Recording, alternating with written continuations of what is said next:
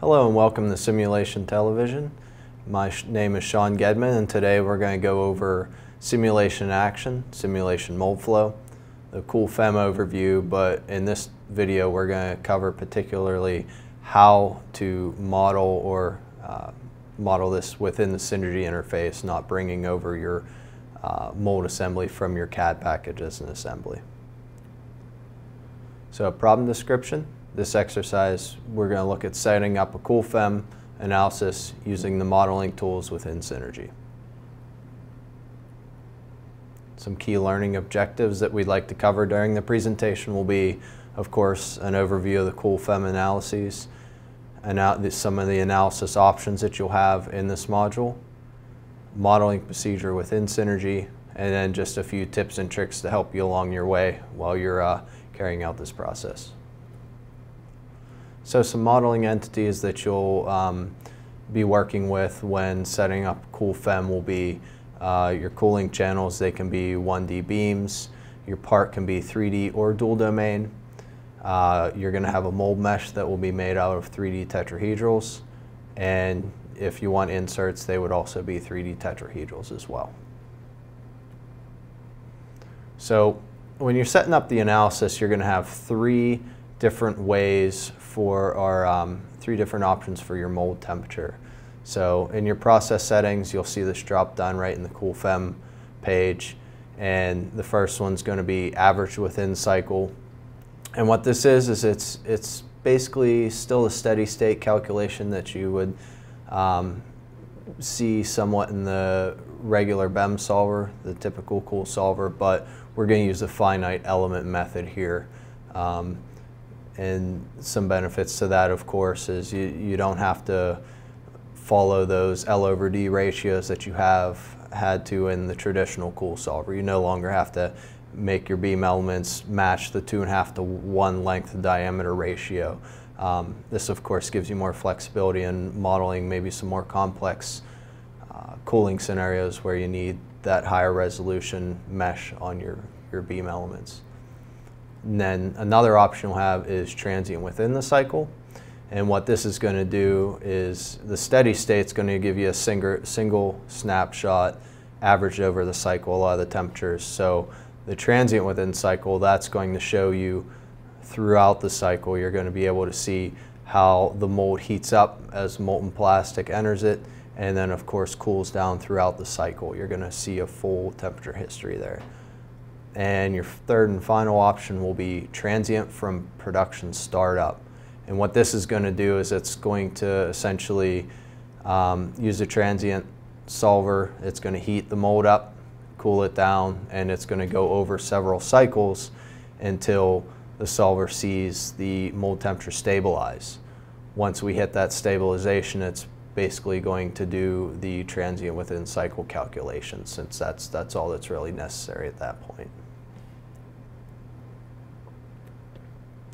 So general workflow, we're going to go over a short demo with this, but to cover the workflow, essentially you're going to have some model preparation, uh, for your CAD model, create your 3D part for your mesh, create your cooling channels. Now you can do this in your CAD package or you can do it within uh, the MoldFlow software.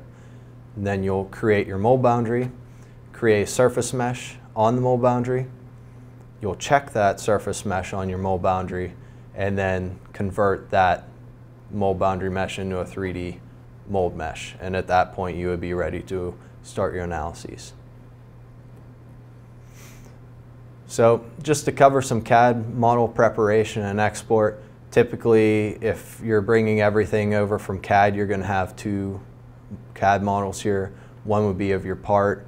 The second one would be of your IGES curves, just the center line curve that represents your cooling line. And you'll use some of these export options here typically when exporting that. And as I said, you can you don't have to have both. You can model your cooling line still within the cool solver that it, or within Synergy itself. That would be fine. So on to our demo. Of course, the first thing you're going to do is import your part. Um, very typical procedure. And what I like to do next, it's, it's a nice pointer, is to put our injection cone before I create my part mesh because if you know the center coordinate at the top of your sprue, we can create a node here and place our injection cone and that makes sure that our, our injection cone will be centered on that top of that sprue and when you go to mesh the part it will integrate that into the mesh and you don't have to worry about modifying your mesh or shifting things around afterwards. So we set our mesh up and then the next thing we'll do is of course we want to create our uh, define local mesh densities. One thing is you'll want to make sure to change your surface selection type to CAD surface, not CAD body. And at this point, you can select your entities that you want to modify or assign your mesh density to. And for this, we're going to do 0.8 millimeters on our sprue feed system and gate.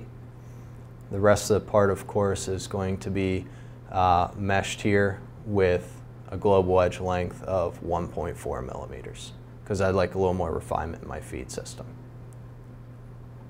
So I'll let that mesh.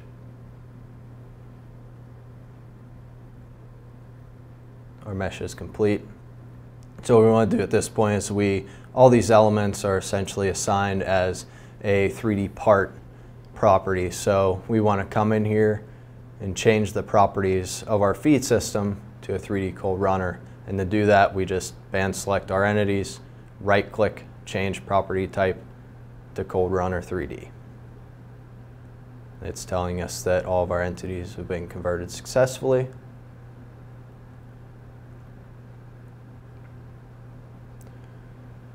And then from this point, we're going to, of course, add, I created the cooling lines in our CAD package, so I'm going to import the IGES centerline curves, or the IGES curves representing the center line of our cooling system. Once you have that in, I just kind of like to shut our layers off so I can focus on what I'm working with. At this point, we're going to delete anything that's left over that we don't really need. We have some runoffs here, some, some extra curves that, that we don't need. This particular system is going to have a, a baffle in it. And once we have these curves in here, I typically assign the properties to them. So you're just going to highlight everything. Right now we're highlighting our channels and we'll right click properties. It's telling us we don't have properties assigned. So we're going to come in here this time and assign a channel property diameter 8 millimeters. And then we're going to do the same thing for our hoses. Typically, you'd like to run hoses outside of our mold boundary, so have this in mind. Um, you know, put some extensions on your cooling lines. And we'll change that to a hose. And hose is just going to factor into the pressure calculations throughout the circuit, not the, not the thermal calculations. And then here we're just going to assign our baffle property. We have an up and a down in our baffle.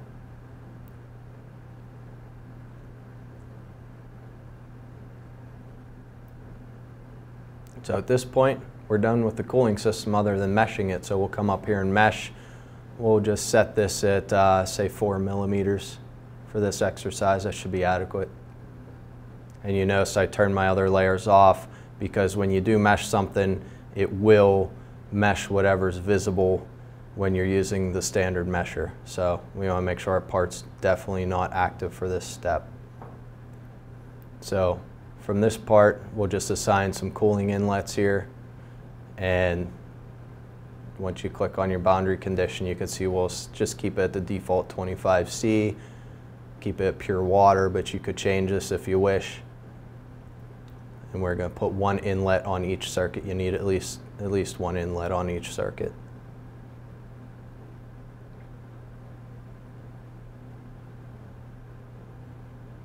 Right, now our cooling system's done. So we're going to turn on everything, all our layers at this point, and we want to start thinking about building our mold boundary. So the first step of that is to go into our geometry menu and use the mold surface wizard. So the mold surface wizard generally has a, a good default for what your mold size is, but basically we want to keep everything contained within this mold block. Um, keep it representative of what you would typically have on the shop floor maybe for this part. And uh, the hoses would be the exception that we keep outside of there. See how we're extended out a little bit. Now from this point, we're going to go in and create our, our boundary mesh for the mold surface. So you just come in here, the 3D mold wizard, and we'll do um, set our mesh type up, our external global edge length and internal global edge length. I set the internal to our uh, uh, same size as our part, 1.4 millimeters. The external doesn't have to be as coarse. You could see it around the perimeter of the block here and you just mesh it. Now at this point, just like any meshing procedure, you want to do a sanity check or a quality check on it. So you can come into the mesh statistics and I typically turn all the layers off, only show the mold boundary, and then of course we'll change what we want to query to triangles because that's what we're looking at, that's the element type, and then check the box to restrict the visible entities. So we're just looking at what we have here. And of course, no free edges, manifold edges, non-manifold edges, you want to avoid these things. And then from there, it checks. So we're just going to go in and create our our 3D mesh by going into that same mesh menu and meshing the part.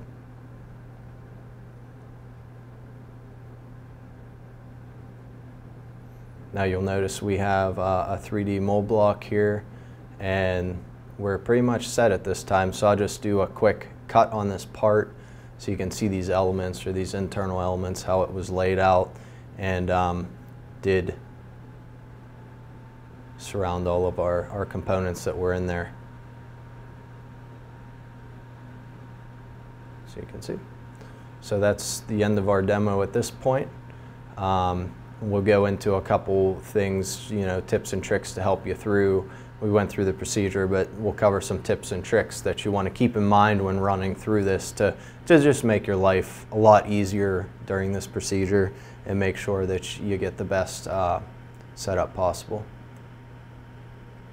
So some of our, our first tricks, as I mentioned, set your injection cone before meshing. It just, it just helps you center it on the top of your sprue a little easier. It's not necessary, not required. You can always move it around afterwards, but um, you know, you have to be careful when modifying a 3D mesh. It, it can get messy if, if uh, you, you modify it a little too much without using the standard tools. Cooling lines, you want them to extend beyond the tool block, typically. So you can see on our left here, it's in, internal to the mold. That's not what we want. Um, the mold block, when we're creating it through the wizard, it's using this to base how the mold block's going to be created. So, you know, you want this to go be going outside of the mold or else um, you're not going to have a, a, clear exit on the mold. And typically what we'll do is use hoses to connect um, the cooling circuits or the, the cooling circuits you have drilled within the tool.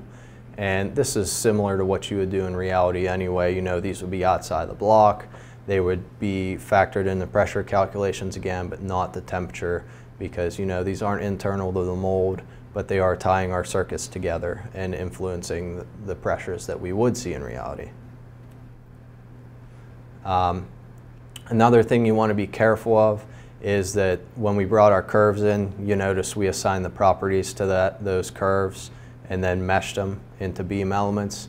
Well, doing it in that procedure made sure that they both shared the same uh, properties, you know, the same diameter if you decide to say modify your beams after that, maybe you want to experiment, enlarge your cooling line diameter or maybe even shrink them a little bit, make sure you do that to the curve as well because the, the block is going to factor that in. And in this case, you can see I, uh, I, I made the beam diameter itself smaller in this section, but I didn't adjust the curve dimension and it based that that dimension when it built the mold block off of the curve and gave us an oversized, uh, basically hole in the mold.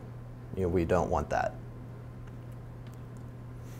Another tip or trick that we have is that for baffles, you'll notice that I use the basically kind of an A-frame technique here where you have uh, the bottom of the baffle, it, it has a curve up and a curve down and the entrance and exit points are offset a little bit. This is, this is great for um, keeping things clear when modeling and you know it will be good in most it, it will be good but really the preferred method would be to uh, still have those two curves but have them overlapping and that just makes it a little easier for um, the, solver and it makes it uh, a little easier to explain when you're displaying it because you can see below we're kind of uh, coming outside of what the mold block, block created.